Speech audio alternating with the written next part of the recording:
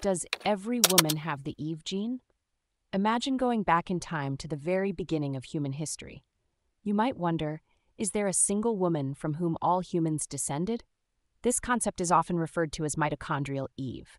But what does it really mean, and does every woman have this so called Eve gene? Mitochondrial Eve is not the first female human, but rather the most recent common matrilineal ancestor from whom all living humans are descended. This means that all mitochondrial DNA, mtDNA, in every living person comes directly from her. Mitochondrial DNA is passed down from mother to child, and it's responsible for energy production in our cells.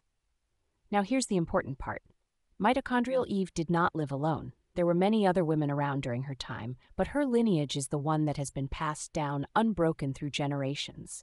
This doesn't mean she was the only woman alive. It just means her mitochondrial DNA is the one that has survived and been passed on to every person alive today. So, does every woman have the Eve gene? Yes, in a sense, every woman does. Since all mitochondrial DNA comes from mitochondrial Eve, every woman carries a piece of her genetic legacy. However, this doesn't mean every woman is a direct descendant in a simple linear line.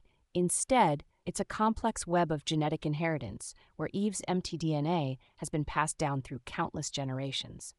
To put it simply, mitochondrial Eve is like the root of a huge family tree, and every woman is a branch that connects back to her through their mitochondrial DNA. So, while every woman carries this genetic link to Eve, it's not a unique gene that only some women have. It's a shared piece of our collective genetic history.